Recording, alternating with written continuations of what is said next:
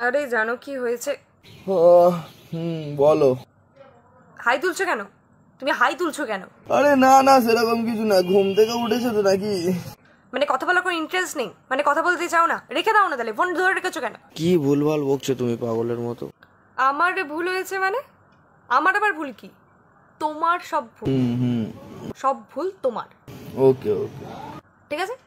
হুম ঠিক আছে। হু হু করছ কেন? হু ওকে আবার কি?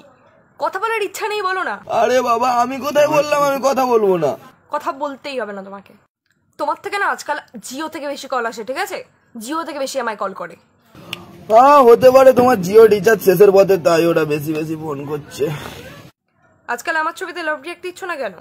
কি ব্যাপার? অন্য অন্যরা দেখে ফেলবে বলে দিচ্ছ না? কি ব্যাপার? কি চলছে? নেটই নেই ফেসবুকই খুলছে না তোমার রিয়াক্ট কোথা থেকে এলো? আচ্ছাই জ্বালা। চলো ফুচকা খেয়ে আসি। হুম হুম চলো চলো বাড়ির পাশের দোকানটা যাই চলো। কে? ওই বাড়ির পাশের দোকানটায় যাবে? হ্যাঁ হ্যাঁ হ্যাঁ ওই দোকানটাতেই যাব।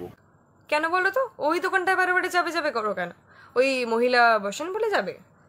মানে ওখানেও তোমার কিছু চলছে?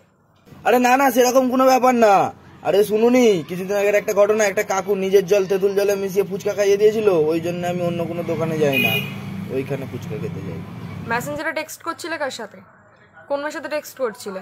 আরে আমি আবার কোন মেয়ের সাথে এসএমএস করলাম? আমি কারোর সাথে এসএমএস করিনি। কে? করনি। তাহলে গুগল পেতে করেছ। ই কে? মেল করেছ। কিছু তো একটা তুমি করেছ। তুমি টেক্সট তো তুমি করেছ। আরে বলছি তো আমি করিনি।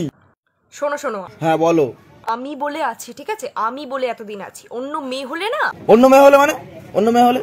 ঠিক আছে তো। তোমার থেকে আরও ভালোভাবে